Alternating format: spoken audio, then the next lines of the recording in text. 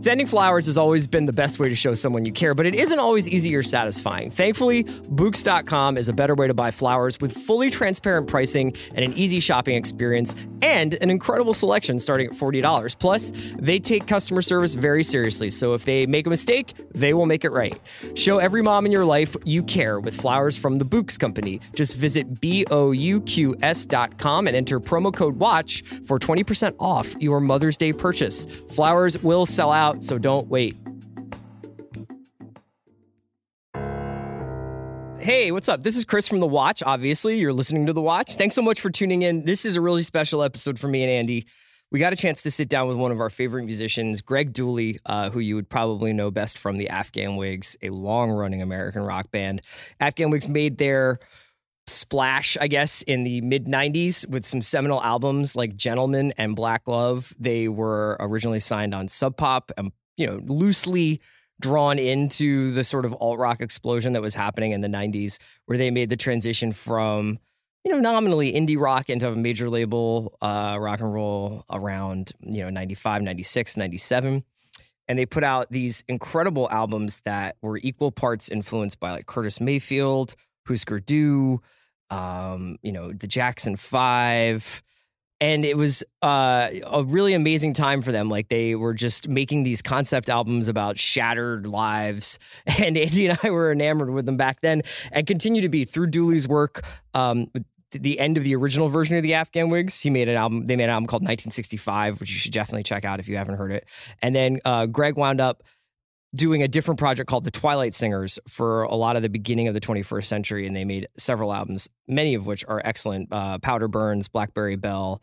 Um, and then a couple years ago, something surprising happened. The Afghan Whigs got back together. Uh, John Curley and Greg Dulli reunited. Uh, John Curley's the bass player, and they uh, made an album, a great, a great reunion record called "Due to, Do to the Beast."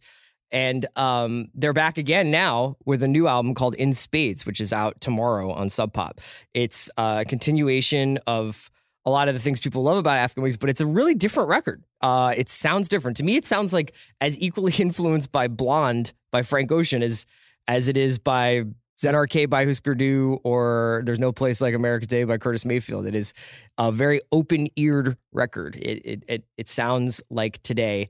Uh, it's got it features some of Greg's uh, most impressive vocal work.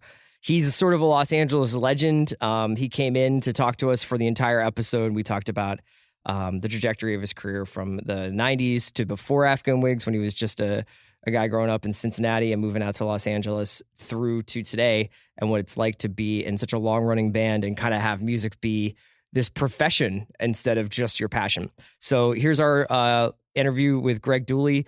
You can catch us on Monday, and we'll be catching up with a lot of the TV that we've missed over the past week or so. I would expect us to talk about leftovers, obviously, but also uh, Handmaid's Tale and maybe even American Gods. Um, if uh, if I can talk Andy into it, I'm sure he, will he'll be down to watch that.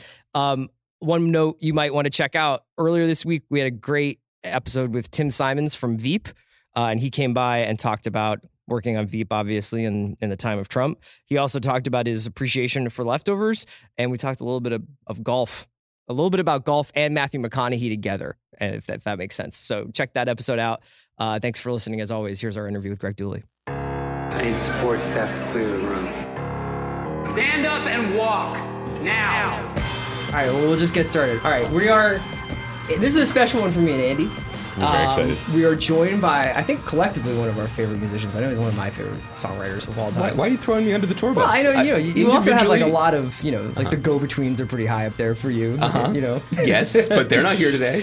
uh, Greg Dulli from the Afghan Whigs is joining us today on the Watch. Greg, man, thank you so much for coming My, through. my pleasure. Thanks for wearing the Ronnie Van Zant T-shirt for me. He definitely, definitely dresses this for is the tonight's the night, man. I, that's the shirt that Ronnie Van Zant wore on, on the cover of uh, Street Survivors. He knows. This is for you. Right. we used to make these at. Um, I used to work at a record store in New York City, and we would we made like slightly a little bit of money by like basically just screening record covers and just printing them onto T-shirts. So it, one of the many That, supplemental that sounds more profitable than selling records. at, at Mondo Kim's. Yeah. Even, yeah. Uh, my uh, when I was uh, 20, I worked in a photo lab in Cincinnati, and we had uh, uh, our supplemental income was driver's licenses, and uh, we did pretty well. I can have imagine. to say, you know, they were really good. This was before watermarks and Yeah. Holographics and things like what that. What was the Dulli touch? Like, how, what what did you bring to it? Yeah. Did you did you put a lot of people I, from Hawaii I, or anything? you know what? I, I was uh, um, I was the typer. I did, you know, I did, I did a lot of the, uh, I did a lot of the typing, but it was, it was, we did great jobs and just kind of like, you know, just sort of alter the. All you have to do is really alter one number if you're doing it right. For the record, the watch does not condone this, No. but Okay, yeah. but we fully support it. Sure. Um, it's great. called make. It's called making a living. seriously. It's also like if, if they ever remake The Great Escape, you can be the forger. oh yeah, I can. I, I've, I, I can forge Greg, you and may, forage. Forge. You might. I was going to say, uh, you might not remember this. Chris didn't remember this either. Um, before we get into it, we want to talk about the new Afghan Whigs record. We want to talk about a lot of the a lot of your career because we're such big fans. But we realized, well, I remembered, Kristen, that this is not the first time the two of us have jointly interviewed you. Seventeen years ago, Wow. as young cub reporters for Grit magazine, or not really, but it was for Spin. But Okay. it felt like Grit because we were very young then. Um, we interviewed you on the Twilight Singers tour bus. I think it was the first Twilight Singers tour at the Bowery Ballroom. And here was our first mistake. We had a great time. But our first mistake was we didn't ask the interviewing schedule because you know what it's like. Like Right, yeah. you, the, the journalists come on the bus, they come off the bus, they talk to you about the record Right. We, you know, usually you follow, oh, that's the guy from Time Out New York, or that's someone from Rolling Stone. We followed a guy from High Times. Yeah. Oh, nice. I realize now is a pretty popular interviewer Yeah. because Yeah. he comes bearing gifts. Yeah. High Times is the opposite of Playboy, where it's like you read Playboy for the articles. I think you do interviews with High Times to do interviews with High mm. Times. That was great, and and I think maybe that tour was sponsored by Zigzag. it actually Pretty was. sure that it was. No, I'm saying, I think that- it was because we did we, we did a we did a Zigzag tour, and uh, um, and High Times was around a lot. You know, not to mention just kind of like a, a general feeling around around the the, situation. the times were high. Yeah. It- that was interesting too because um, we were both Chris and I were big Whigs fans. We were also big fans of the Twilight Singers, and, and now things have come full circle again. But not to dwell too much in the past, but I was curious at that time, what was that era like for you? Because you had been in a certain band for a while, you had been in a certain century for a while. All of a sudden, everything was a little bit different. Um, what was the beginning of the 21st century like for you as a music maker? I I mean, if you if you saw me in 2001, that was one version. But I if if that was the first Twilight Yeah. Singers album, Yeah. Hated that tour. And that that one actually, I didn't tour again for two years Right. after that because I, I was I was so, um, I was just not a a, a happy person. But um, Scott Ford, who ended up becoming the bass player of the of the the Twilight Singers, um, I was just cranking songs and just kind of making them. But by that time, uh, me and my friends had bought the shortstop, and I was working at the shortstop. Bar in Echo Park. Yeah. And you know, all of a sudden, I had like 20 songs, and Scott was like, "Man, you need to, we need to put out an album." And I was like, "Nah, putting out an album means I have to go on tour, and I have no desire to do that ever again." And he's like, "Come on!" And he, it, it, Scott Ford is actually probably like more responsible for me, like making albums again, touring again, sitting here right now than than probably any person. Do you think you just would have like been a bartender and hung out? I think I was like I, I really kind of liked the the yeah yeah. yeah I mean at the for for that time in my life and who knows but but at that moment I had I was really happy like having a job to go to and not having to go on tour Yeah. not having to like I made songs because I wanted to. It was actually like more of a therapeutic thing. Yeah. So It's interesting to hear you uh, say that because we were just talking that for us, the last 15 years of your career has seemed so wildly prolific yeah. and, and adventurous and mm-hmm. exciting. And it's interesting that if we, if we date it to around that time, you were resistant to it. I was I was I was actually just not I had no interest in in touring. I liked, I still liked making songs, but after that tour, I probably didn't like write a song or anything for a year. Was it what was it about that tour in particular? I don't know. I think it was like the, uh, The- you know, those two guys that interviewed you after High Times. it was, terrible it- questions. It, was a it was a weird throw together band of people that it just we went out for the wrong reasons, Yeah. and, and it was not a. Uh, th- that that group of individu- individuals did not gel, and uh, I, I don't know. I, I, I was just kind of over it. I think I had just been kind of in the grind for too long. I mean, I've been you know touring for 15 years by that point anyway. So, you know, you're catching me on the next 15, which is has been much more enjoyable. Okay, good. I'm kind of curious about that because you Afghan Whigs reunite. There's a bunch of 20 year anniversaries of, of records, are, and then you guys do do the Beast. I'm not sure if the chronology exactly right there. I mean, I know you just did a tour for Black Love, but now you're on the second Afghan Whigs point 2.0 sort of album. And do you ever feel like it's like it becomes industrialized again when you kind of like settle into like okay album tour album tour? How do you keep it fresh for yourself now that you're doing the second lap around with with this band? Um, I did a solo tour last year, Mm-hmm. and that has been a great way for me to reboot. Yeah, And uh, um, I realized a couple years ago, I was like, wow, I've I've kind of parked the Twilight Singers for a little while and been doing this, the Whigs thing. I'm like, I didn't want to drift too far away from that Twilight Singers material. I love those songs. It's this, they're the most current songs to me, other than these last two Whigs records. So going out and doing that, and if you know, I, I I would look at the set list and I'm like, man, I'm only doing like one Whig song Yeah. in this show. You know, I'm sort of like, but then I I uh, I uh, um, I previewed a couple songs that are on this new album during that tour, so that that that was a cool thing too. Uh, but that keeps it that keeps it fresh for me. Uh, doing the Gutter Twins a few years ago with Mark, yeah. Was a great thing. And and then a year later, we did an acoustic tour, just me, him, and Dave Rosser. So uh, uh, there, there's various ways for me to to keep it interesting, and and I think also like I I, I I've been resistant of like doing those 125 date tours Yeah. where it just sort of becomes like blinding for me. Like you know, it was it was cool when I was a kid, and I like I like about seventy five. That's sort of like my sweet spot now. Yeah. You know what I mean? That still sounds like a lot. It's plenty of shows, but it's not like those. That next fifty will kill you. Yeah. You know what I mean?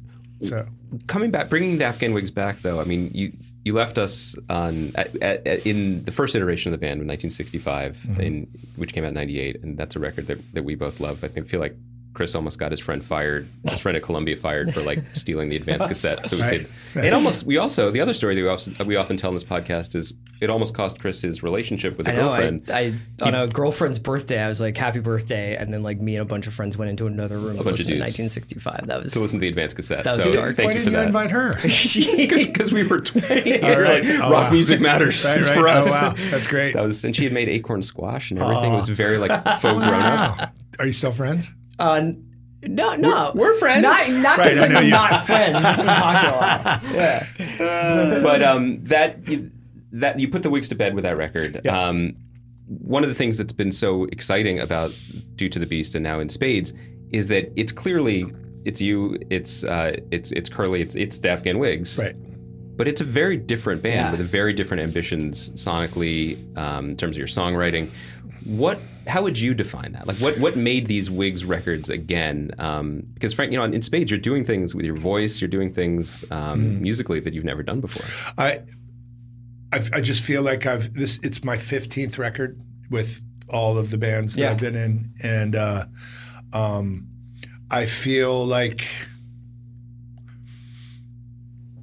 I feel at the height of my powers now. You know what I mean? Like I feel like I kind of know what I'm doing, and I'm and I'm just dangerous enough to get away with it. So, uh, um, uh, it, it it feels good to try things. Like I, I did 20, 22 songs for for this record, and and and and pared it down until I got you know.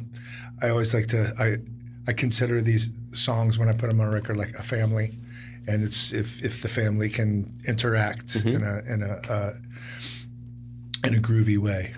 So uh, um, this this time, I just started like Birdland, for instance, the first song. Never never done a song like that before. Had no plans to do a song like that, and furthermore, freestyled the vocal. Never wrote the words. Are you down. That serious? is- yeah. in the studio, Yeah. into the mic, first time. Yeah, not the first time, but But when you were- but the second time I did. Whoa. Yeah, and I've done that five times in my life, uh, in thirty years, and it's always like you're not even writing the song; it's you're just you're you're the channel. Those are the other times those have made it. Those have made it onto the record. Or they- Yeah, the other times were mm, tonight Mhm. on Congregation. Um, now you know Yeah. on Gentlemen. I remember reading an interview once that you that you don't actually remember recording forty dollars on Powder Burns. Is that accurate? I- Is that I- one? I- would you characterize that as one? I, am pretty sure I wrote the. I'm pretty sure I wrote some of those words down, but that one was pretty freestyled too. I mean, I, I listened. I, I actually listened to it last year before I because I, I, I Mm-hmm. did it in the show last year, and that song in particular like really blows my mind. It's really kind of like. Like I thought I was Marc Bolan or something like that. You know what I mean? But there's a moment in that song where you and everything in the song goes to 11, where the Yeah. song suddenly like it, it leaves the bounds of Earth's gravity and it causes the listeners to feel that they've done the same thing. Yeah. And that it, it's exciting to hear that that had the same effect on you because it does transcend. It did well, you know. I mean, that's that song was brought to you by cocaine. Well, it sounds like it in the best possible sponsor way. of, of some of your most beloved music. um, what I'm curious about within Spades in particular, and Andy kind of touched on this a little bit, is like we saw you got you play the benefit show a couple of months ago. Uh, downtown Mm-hmm. the and- Teragram. yeah, and you know we saw you play Toy Automatic and Oriole, and I was like, "Fuck yes, this Mm-hmm. sounds like like Greg's been listening to like late Husker Du. I'm like really into this." Wow. And then the record comes out, and like those, even those songs are like, there's like tons of strings. You're doing all this different stuff with your voice.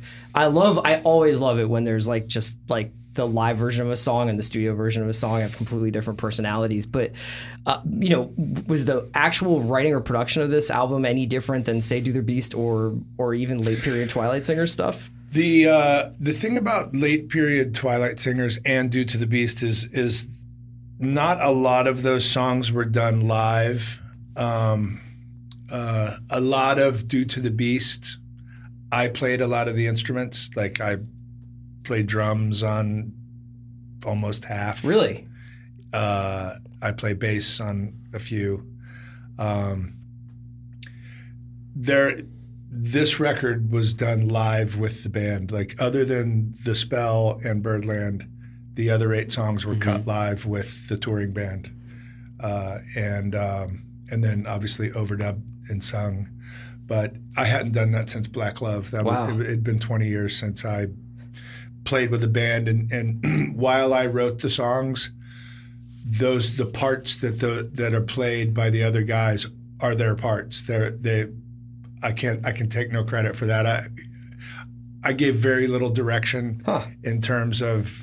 I, I really kind of let them do their own thing, and and Is that how is that how Black Love was was done in the studio? yeah, I was a little more. Uh, I, I was a little more hands on with Black Love. Like I was, you know, looking back, I was probably, you know, feeling the pressure of the predecessor. You know what I mean? But uh, uh, I feel no pressure these days. You know, I'm just sort of like. I, I- I mean, I sort of like walk into the situation thinking like, dude, you're good. Good, just go be good. Yeah, right. You know. There's you, you mentioned being at the peak of your powers, which I would agree with, but part of that is knowing what you're what you're good at and what you want to push past, and you know what you want to return to. And I'm wondering how much, and it's interesting because you did. We saw you guys play Black Love, and it sounded great, which meant you had to revisit that record at least, Yep. you know, to relearn it and refamiliarize yourself with it. Listening to the new record, hearing your voice do things I didn't know it could do, hearing the band do things I didn't know it could do, and then like you get to Light as a Feather. And there's a little bit of that Black Love swag. There's the black, it's a creeps little in. black love, little 65 ish in there. Yeah, too. and Yeah. there's a little, and and, Um, and, a it's little, like a, little, and a little treat, and a little bit of scorpions too. which I'm not mad at. Yeah. So you, you got to adjust the dial, right? You can Yeah. give that to us when when when we deserve it. well, I mean, I'm me. So, and I did all those other songs. So, like, I, I talked to some guy from Italy today, and he and he made some mention of like, "I'm light as a feather." It sort of reminds, and I'm like, dude, it's me. I'm, Yeah. I, it's not like I, I wasn't like. He probably did it in a cooler Italian accent than I Right, did. he, he- he definitely. It was a cool sexier accent. question. But I was, I was, I was, I was like, dude, I was not body snatched. If, if, if, if I, if I happen to light onto something that reminds you that of something I did, then eh, it's still, it's still in there. Light, I'll tell you, like light as a feather in particular. I had nothing going to the studio that day, like, uh, and Where did you record the record? we recorded it in, in New Orleans, mm-hmm. and we did it a month after the last show for the Do to the Beast tour. Mm-hmm. Like we m- played at Barcelona, and and we went out to dinner, and like let's we're playing really well. Let's go in mm-hmm. quickly. So we went in like three weeks later, I think, and. Uh, we were in there for eight days, and five of the songs on In Spades were done in those eight days Wow. And one of them was light as a feather. And the day that we went in, I had nothing, but I was driving my my car to the studio, and "Jive Talking" by Bee Gees came on the radio, and I was like, "Wow, that, really like that." and uh, um, and then I came in, and Jon Skibic and I, who uh, we share a love of heavy metal and hard rock, and uh, we began talking about our favorite Scorpion songs. As one does and, in the uh, studio. uh, um, and unconsciously, that was the that's how that song was built. I mean, uh, uh, one of my favorite songs by Scorpions is "No One Like You," okay. and if if there's if you listen, "Light as a Feather" to me is a combination of jive talking and "No That's One good. Like You" by Scorpions. I, I, I hope you don't mind going back a little bit in the vaults for, No, for some questions I'll- because I'll go all the way back. because something in particular that I've been curious about for a while. Um, the '90s, as Chris and I lived through it as music fans, um, was we, we talk about this on the show actually a, a bunch. That one of the biggest divides that I found when I got to college. I got to college in '95, and I had friends who like came to my room and they saw maybe I had an Afghan Whigs record. They saw that I had a Guided by Voices record or Pavement record, and then they got to the Biggie and Wu Tang records and were like, "You're kidding." Right. the divide between like the indie rock fandom and fans and fans of black music was huge. Right. Um, you were in a band in that decade that was sometimes lumped in with grunge bands. You had, Sure. you'd started on Sub Pop, but the Afghan Whigs never uh, shied away from love of African American music. Never shied away from love of writing about sex and funk and saying you like the Bee Gees and the Scorpions. Sure. Um, what was that actually like in the moment? Because you you were lumped in with this stuff, but you were you were speaking a different language. We came. I mean, first of all, and I've, I've, whenever the grunge Yeah. thing comes up, keep in mind that grunge was an invent, uh, an invention by an English journalist, probably Everett True. Everett True, yeah. Or, or one of his. He was swinging on the flippity flop. Yeah, exactly. said. Well, many people were.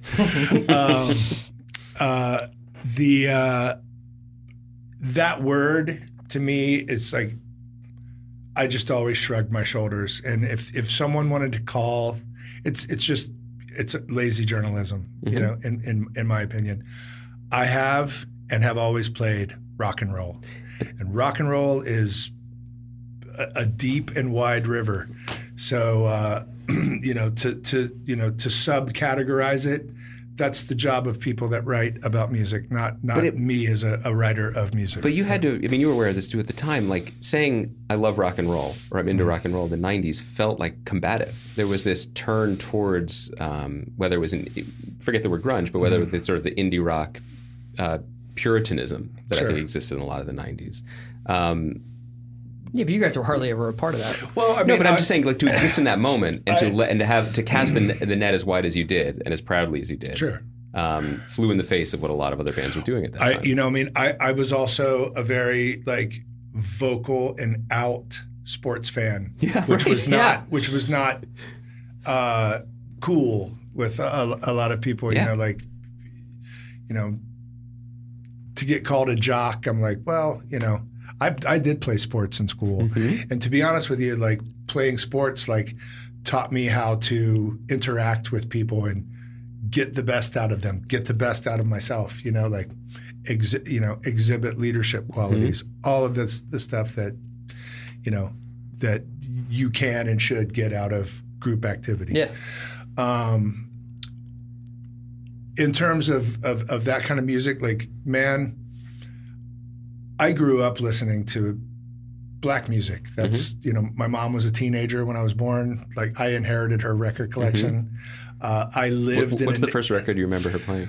I, I'm going to guess Martha and the Vandellas or uh, Marvin Gaye, Temptations, Stevie Wonder, Diana Ross. You know, like the, the, any of that stuff. And then, like I, it, you know, I by getting her records, I, I became sort of omnivorous after that because uh, we lived in a, a um, kind of uh, l- lower middle class tract housing neighborhood and a lot of other young parents and kids my age. So, uh, um, you know, older kids would be like, "Hey, do you know Rolling Stones or Led Zeppelin?" I'm like, "No, what's that?" You know what I mean? Like, Yeah. I, I got my education that way, and then you know, inevitably there was like the, "Hey, do you want to listen to you know Emerson, Lake and Palmer?" And I did not. Want Was to. there was there a Husker Du kid? Was there the punk kid? Well, the punk, like I got into punk rock in college. Okay. Uh, um, uh, that's I, I saw Husker Du on. I, I heard Husker Du when I worked at, at Tower. I probably heard. Uh, um, what would it have been? 84 would have been Zen Arcade. It would it would have been Zen Arcade, and then I when I moved back to town, I saw them on the New Day Rising tour. That was the first time I saw uh, um, Husker Du, and that that changed my life. Like it was it was I'd never seen three people make that much noise. Yeah.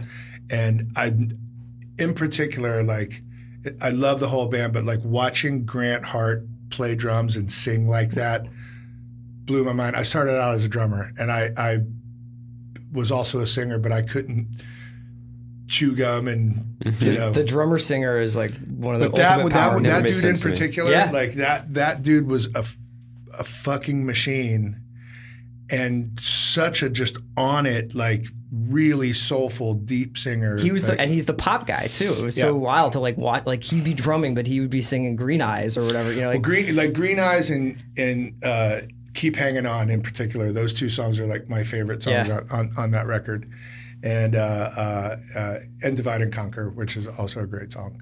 But uh, um, I was blown away by uh, um, by by that band, and I and I met Grant a couple years later. Um, probably when we were touring up in it. Like, Yeah. So my- not even a couple years later, like six, five or six years later, he came. We we played uh, University of Minnesota, like the student union, with Mudhoney and Bullet LaVolta, wow. and uh, um, and he came to the show, and I was just I was kind of you know really in awe of of, of Grant Hart because uh, I saw they, they they they did some of my favorite shows that I ever saw, and they also did one of the shows that at the it was the end, and it was, it was perfectly clear that they did not they were not friends anymore. And it made me really sad. Yeah. Like I, I- I had, I had a deep, deep, uh, you know, attachment to Husker Du. They're, you know, a life changing moment for me. One of the greatest bands in the history of rock and roll. So- There are a lot of stories um, when you speak to people in bands about how, um, especially as singers, when they say, you know, I, when I finally got up in front of the microphone, like all the people who've known me my whole life couldn't believe that I had, had done that. Like all of a sudden, that's who I was. I have the, I for I could be wrong. I feel like people didn't say that about you Um, because you said you were a drummer. I'm curious when you made the move and then how quickly the swagger was there. I made the move. I was singing in bands by the time I was 14.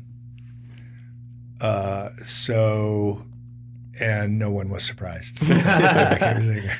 Hey guys, just want to tell you about our good buddies at Sonos. You know, uh, we obviously love watching television and movies here at The Watch, but nothing makes those television shows and movies come to life like the Sonos Playbase. The Playbase uh, is basically a way to have home theater sound in this really cool low profile speaker that goes right underneath your television stand. You barely notice it. It's sleek. It actually makes my television look better. No, no disrespect to my TV.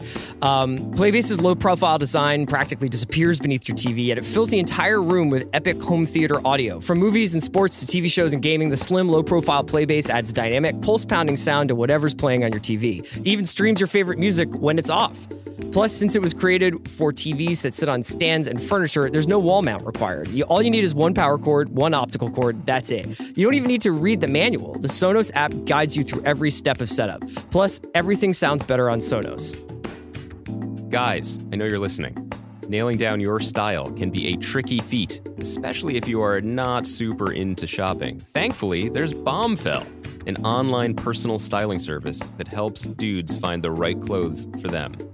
All you have to do is complete a simple questionnaire online, and then you're matched with a dedicated personal stylist who handpicks pieces from brands and designers around the world specifically for you. Once you've viewed your selections, you have 48 hours to make any changes, or you can just cancel altogether. You are in total control the whole time. No hidden fees, no gotchas, and your dressing room is any room in your house. That's a nice thing too. You only pay for what you keep. There is no charge to send returns back. You can reschedule or you can skip shipments anytime. It is the most simple, straightforward service around. Bombfell is on your side because they don't make money if you don't find something you want to keep. And guys, let me tell you about this. I have a little personal experience with Bombfell they got me to sign up and I went through the process and I explained myself to them. I explained what I, what I like to wear, what I don't like to wear. I had to tell them this is very personal for me. I had to confess that I'm allergic to wool, which is why moving to California was a good idea because I've been cold for every winter of my life. Anyway, they picked out some stuff I wasn't totally sure about in the pictures, but I was willing to give it a chance because, again, this was all being done for me. I got the package, and just this morning, I tried on the shirt they sent me, the sweater they sent me, and the pants they sent me. And do you know who liked these clothes? I like them. You know who really liked the clothes? My wife. She basically said that the pants Bombfell sent me are the pants that I should have been wearing this whole time. That was tough to hear, but kind of a credit to Bombfell. And yes, I am wearing the pants right now. And producer Zach Mack has not complimented me yet, but I know that's forthcoming when I leave the studio. So, guys, do what I did. Try out Bombfell. It's really worth it. And best of all, we've partnered with them to get our listeners a special offer of 25 bucks off your first purchase when you go to bombfell.com slash watch. That's Bombfell, spelled B-O-M-B-F-E-L-L dot com slash watch. $25 off your first purchase. I honestly don't know what you're waiting for. You know, we, we were just talking, just hearing you like kind of talk about your your mom's record collection, seeing Husker Du, made me think that one of my favorite things over the last couple of years to listen to has been your Spotify playlists Oh, thank you. because they're so eclectic, but they also betray such like just a a curiosity and a passion for new music, like Yeah. stuff where it's like you're not like some people would just be like. I'm I'm done. Like, sometimes Right. we're like we're done. You know what I mean? Right. And like you just might be like I like these 10 Migos songs, but I can't listen to 400 of them or Right. whatever. And and y- you know your stuff is just like it's such like a wide variety of stuff. And I was sort of a two part question: How do you find yourself ever exhausted by it? And I also wanted to know if you could talk a little bit about the way that your listening habits functionally have actually changed because of like listening to streaming music players and stuff like that. Because I would imagine you have a massive record collection, but now, I did. Once once upon a time, I had three thousand records. Yeah. You know, and uh, I I have forty now. really, Yep. And you know, a quarter of those are Richard Pryor records. so, um, but uh, um, I'll tell you that my my life, my musical life, kind of changed when I discovered TuneIn Radio, which is like TuneIn and Shazam are probably like the two most used applications that I that I that I use, other than like you know sports websites Yeah. or something like that.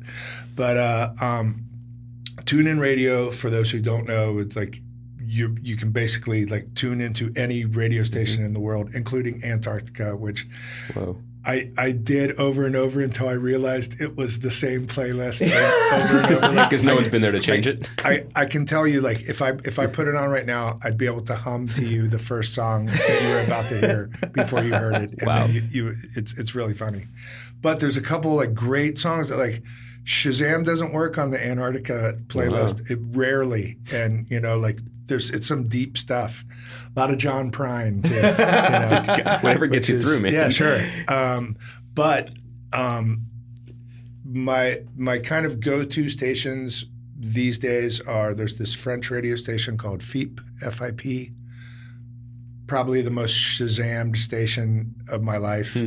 Uh, Dub Lab here in LA, uh, um, WEVL in Memphis, which goes off the air at midnight That's Memphis great. time. Mm-hmm. Do they end with like the national anthem, or do They they? don't, but you know, I I, I kind of wish they would play like "America the Beautiful" by Ray Charles. That, Yeah. that's the way TV used to do.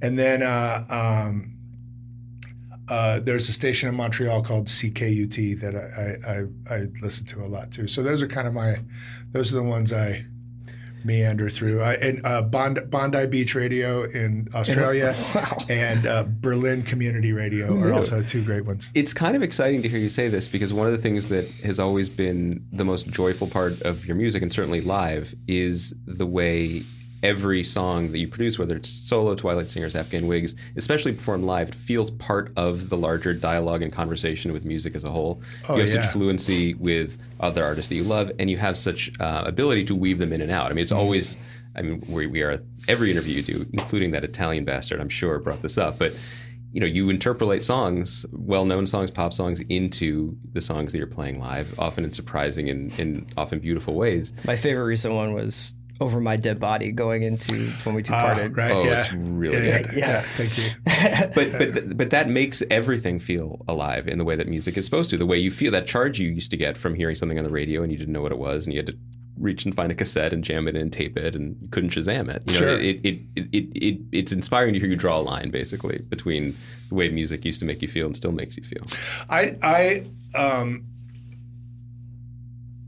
I like that uh uh um that it still seems sort of like, oh, what what the fuck is he doing? You Yeah. know, kind of that that's I I like that I can still have that effect on even like longtime listeners of of uh, uh, my group. When we got back together in 2012, I knew that we were going to play the five main albums, and that's what we were there for. And but in order for me to have like a root in the now, I, I I I I wasn't going to try to write new songs, but every night we played uh, "See and Don't See" by Queenie Lyons and uh, uh, "Love Crimes" by Frank Ocean. Um, and then I began to interpolate like I, I forget which Channel Orange song into Love Crimes also. Um, there were a bunch of people who obviously didn't know Queenie Lyons. I get it, although she was like a mainstay of my DJ career.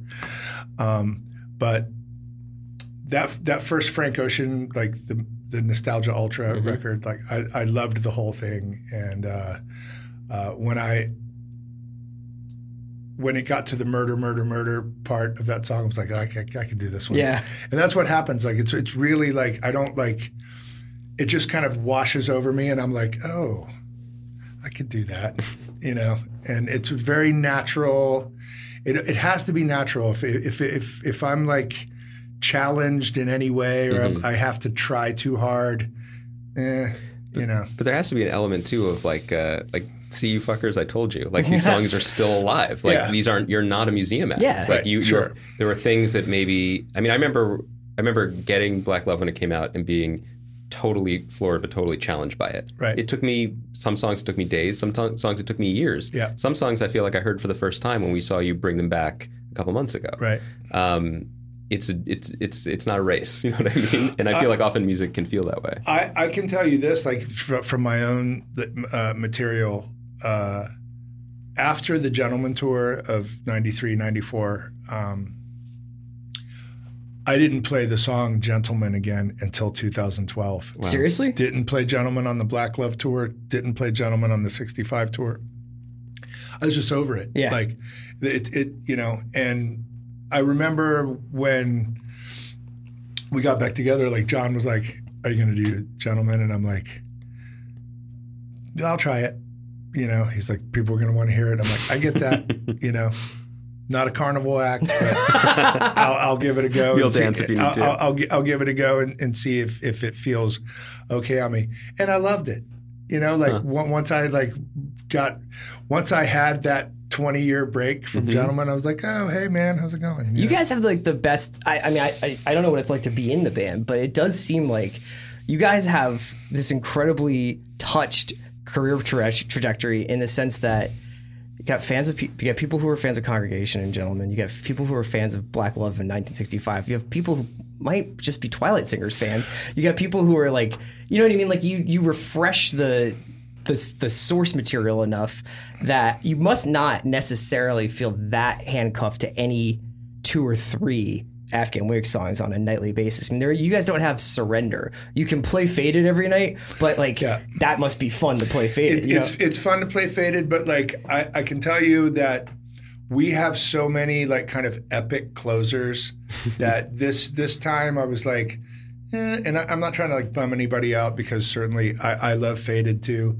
but faded is not a default closer. Yeah. like you know, I, I was when we were making up the list uh, over the phone, me and Curley and John was like, let's play Omerta on, on Oh, this tour. And I was like, yeah, yeah, let's do. So there's that. I mean, Into the Floor has a very, you know, epic ending quality too. So it's like where to find the we have we have, we have a wealth of, Yeah. of of powerful closers, and like you said, not being tied to any kind of like hit. Uh, and by the way, like even uh, whenever I've gone to see the Rolling Stones, and I'm like, I almost want to go back and go, "You're the Rolling fucking Stones. You do not have to play that song. yeah. Let me make you a set list, Rolling Stones, that will blow everybody away and probably blow yourselves away. You know, you have so many great songs. That's that's what I like, and I, and I'll tell you something else from like. Uh, uh, uh, halfway through the Black Love tour, I stopped playing Honky's Ladder. Never played it again. Didn't play it on the reunion tour. But when we played it at the Black Love show, I was like, oh, Honky's Ladder. You know what I mean? yeah, good. I, I was kind of like, so, you know, little break. Yeah. Distance can be helpful Yeah, in it's great. relationships. Yeah, absolutely. There's it seems like for some lucky artists, there's like a like a Nick Cave zone where you can enter into a later period of your like artistic life where the you understand the mechanics of what it takes to make a record and put out a tour and, and keep people engaged in your art, but it it it happens almost not seamlessly. Obviously, there's probably a lot behind the scenes that we don't know about, but it, it's almost reliable. Uh, do you feel like you have actually have entered into a almost a professionalism with this? I know you've been a professional doing this for a long time, but does it does this like life cycle or like this this artistic cycle make sense to you now? It does. Now, I, well, number one, we, we collectively had the, uh, uh, the intuition to continue the momentum of the tour into the studio. If we took six months off or see you in a year or something like that, things have a way of kind of, you know, Oh, I had a kid. Oh, I'm working on this Yeah. other thing. Yeah. that we got right back on it. That was part of that kind of. I have the knowledge to like, let's keep the ship moving. If if it's going to move, let's keep moving. Yeah. And I still was able to take a break in the middle of making the record and go out and and and tour on my own. Also previewing those new songs and then immediately going back and finishing uh, the record. It was a nice break for me to to to get back in, but as I said at the beginning of the uh, of our conversation, I feel like I know what I'm doing now, and I know how to do it. And there is, you know, I know Nick Cave like uh, he has an office. Yeah. and he goes into his office and works, and I don't do it that way. but once I get a song or two songs, or I feel like I'm on the trail of a of a, a piece of material that I can expand on, I I attack it and and and and chase it down. So I have to. We, we, definitely have to. You've given us a lot of your time, so we should let you go in a minute. But I, I have to ask. You know, I said right before we started recording, I've been here about eight months now. Your mm-hmm. history in Los Angeles stretches back a bit longer. yes, What has kept you in the city? Because I have to say, just as a fan of your music, records that you have made um, have opened opened up the city to me in ways I didn't know possible. Like it made me hear things in the city, made me see a different side of it. I still think about the cover of Powder Burns every time I see that view of downtown. sure. Every time I drive past Fountain and Fairfax, I'm like, what happened here? What's Every going on here? I still get a thrill every time I see Bonnie Brae as a street name, and that's not even the most go. glamorous street. And there's and there's the the the Blackberry Belle cover is Mulholland Drive. Yeah. Yeah, So- it is because you seem to have managed to do the neat trick of st- of loving the um, the legend and the mythology and, and feeding into it of the city, but you also live here and Yes. you seem to like it okay. So I, what- I I love living here. I'll tell you why I love. Li- I, I, I always had a, a, a, great deal of wanderlust and uh, had trouble, kind of you know, had commitment issues with with cities. Um, once I got my apartment in uh, New Orleans Mhm. and got a house here, that totally calmed me down. Now I have the now I have the wife and the mistress. you know what I mean? And uh, and everybody's cool with it. So How much uh, time do you spend in New Orleans? For, like in a year? Depends. Probably like a quarter of the year. Yeah. You know, like uh, not in a row, but I I go down to New Orleans five or six times a year. Is that like for professional reasons, or you just go to like like spiritually like Both. hit reset? just to get some beads, man. Yeah, right. Um, um, if you've never been to Mardi Gras, you have to go. Like it's. It's, it's it's it's the happiest place on earth that day. No no better way to spend a Tuesday. I can't imagine. You know what I mean? It's a, it, it, it's wonderful. But Los Angeles to me, obviously, I love the weather. I love the culture. I love the architecture. I love the landscape. I love the ability. Like first of all, like the state of California is. I mean, come on. I know. You know, I'm very grateful to be here. Tho- tho- those of us who know, I'm not trying to tell everybody to come out here. Come visit, but please, you know, stay off the highway.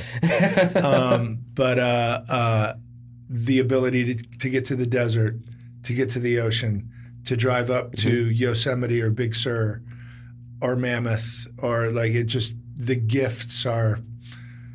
I I mean, I, I, I it's my favorite place. I like that the, the analogy of it to, to to relationships, like romantic relationships, though, because there are definitely cities um, where it's hard to grow old with them, you Yeah. know, and certainly the financial re- what's going on in New York that's affected a lot of people's decision. But I know people, you know, who you live your twenties in New York, and then you're like, I can't imagine being here and not doing those things and living that life. Every mm-hmm. street you go on is when Yeah, you used to go like out at night, you used to go to those bars. Getting Now- an apartment on Normandy Beach or something for some people. Now you don't do right. It's yeah, like, that's oh right. yeah, I'll retire here. I had to- I had to go This is where the bodies are buried. yeah. I lived I lived in New York for a year. Yeah, that was enough. It was, you know what? It, it, it was because I, once you walk out your door in New York, you are in it. You are in it whether you want to be in it or not. If I walk out my door here, I'm like, I can kind of poke around. Like I, where where I live is is all, I mean, if you, it, it's basically like a little like country oasis in the middle of of the city. So uh, I love trees. I love grass. Not a lot of that. That, that's also you- that's like saying I like sports. A rock star saying I like sports, trees, Yeah, and seriously. grass. Yeah. That's you're, yeah. you're flunking rock and roll 101, but you're living life. sports, trees, or ass. Nobody rides for free. Do you, are you still a big sports fan? oh yeah. Yeah. Is Yeah. it have you have you fully committed to the Dodgers and the Reds, or are you still a Reds fan? I I still I still love the Reds are my family. Okay, Dodgers are my dear friends. that's good. Yeah. You're you because you've you've created like a very big support system for Dodgers fans out here. But I, I yes I, I I love the I love baseball. yeah. I love baseball. I love basketball. I you know basketball lately has been very painful for me. Yeah. But uh, um, yeah, I mean watching the long slow death of the Clippers has been just. Uh, Did you used to because like did you ever used to go down to Staples or wherever they used to play like before they were good? Sure. Oh yeah. I used Sports to hear like you could go down like for five bucks. You could oh go yeah, see for five bucks and watch watch them get beat by forty points. Darius You know and what I Quincy, mean? yeah. Oh. Oh, Darius Miles. I, I've I watched him many times. You, you know. That, that didn't work out. Elton Brand was was a little bit of hope, yeah. and then when Baron Davis showed up, and Elton Brand was like, "Yeah, I'm going to Philly." And, Here's a little bit of hope for uh, us too. And yeah, then- and uh, and that was like I'm like okay, but then you know then they, then they got Blake, and he immediately hurt his leg. Yeah, and I'm multiple like, times. oh, yeah, God. it's funny how you look back on teams like Elton, the Elton Brand, Baron Davis Clippers, and you remember that being like this point of hope. Mm-hmm. As I feel this way about like like the Evan Turner, the best of the Evan Turner, Jrue Holiday Sixers, where I'm like, the best. Wait, what was I thinking? Like, was when you look at it historically, it's like LeBron just wins every year unless Steph Curry or Tim Duncan. And you look back and you're like, oh yeah, Elton Brand and Baron could have taken a run at that. It's like Are you a Sixer fan? I am. Yeah. yeah. Are you We're both too? from Philly. Yeah. Okay, so when I was a kid, the the Royals had moved out of Cincinnati by the time I Yeah. became like conscious of the NBA, and I didn't have an NBA team, and I, you know, if if I did, it was it wasn't going to be the Pacers. No offense, uh, but uh, um, Dr. J is the one guy that, in my mind, if I ever met him, I, I would probably like maybe be a little freaked out. Really? Yeah, of, of everybody, like of of anybody. Like Keith Richards, I'd be like, "Hey, man." But Dr. J, I'd kind of, you, you'd give a set list to him. yeah, Be like, yeah, get it together. exactly. Yeah, exactly. We'd have a starting point. But like Dr. J to me is like he was kind of like my first hero, and uh, um, so that team with uh, uh, Caldwell Jones, George McGinnis, Moses Malone, Doug Collins, Yeah. like, like that. That, Mm-hmm. was a team Their, their championship team Yeah. uh, uh, was I loved them, and then I loved when Barkley showed up and Andrew Toney and all that gang. Like I, I you know, big, You're, big, giv- you're giving us a gift here. Yeah, Big- we were big- chil- we were probably Sixer children fan. of Iverson as much as I mean Barkley and and, like, and Allen Yeah. Iverson, Yeah. like lo- love him. Hate the Lakers, I always have. Yeah. Went down and and uh, uh, watched Iverson get a game. game one. You- yeah. Yeah, yeah. The step over game. Sometimes I think that that game was the happiest moment of my life. Yeah. Like it maybe it never got better than that moment when he stepped over Tyronn Lue. I still That- think, in a weird way, the ga- the game two loss when he clapped Yeah. the Staples, Yeah. like like Like- like, basically like bring it. That was my favorite. Lo- lo- love love Allen Iverson, and uh, and I hope uh, I hope Simmons can come back healthy and and and turn. I it hope so too. There's a lot of question marks. We're gonna let you go on this. I'm gonna put you on the spot, but I, I'm just curious. Um, if, for people who who've listened to this or have listened to our show who maybe aren't the fans that we are of you and your music, I have a big. I put a, together a playlist a couple of years ago of my favorite songs of yours. Very subjective.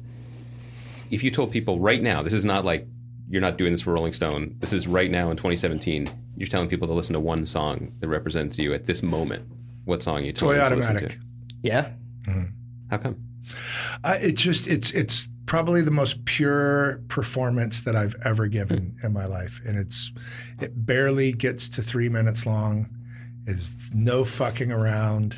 It's kind of me distilled, me now hmm. distilled into two minutes and fifty seconds. And it's a perfect segue because it's on the new Afghan Whigs album in spades, which when we post this will be Available, available, tomorrow. Yeah. Fantastic. Greg Dulli, thank All you so much for coming That's by. awesome. Thank Thanks, you man.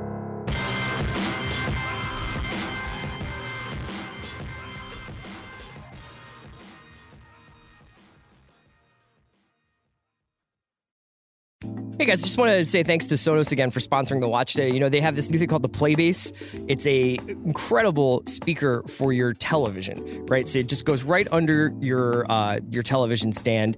It's slim, it's low profile, it just fits right in there. You don't even notice it. And if you do notice it, you're like, you know what? My television looks better. But what, besides looking good, what it does is make everything sound amazing, whether you're talking about games, television, or movies. You'll be sitting in your living room, You've got the screen up, you, you're, you're, you're in the zone, but like maybe sometimes the sound isn't this no no longer is that a problem. The sound is amazing on this thing. Let me tell you something else. I remember the days when it used to take like four and a half weeks to set up a home speaker system.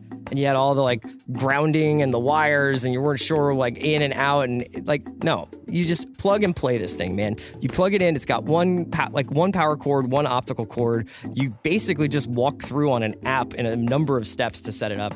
I can't tell you how it brings movies and television and games and especially sports to life in your room. My wife is like, "What the hell? I feel like I'm inside of a spaceship when you're listening, watching Prometheus or something." I'm just like, wife, that is just Playbase. I don't know what to tell you. So check it out. Go to Sonos.com for more information.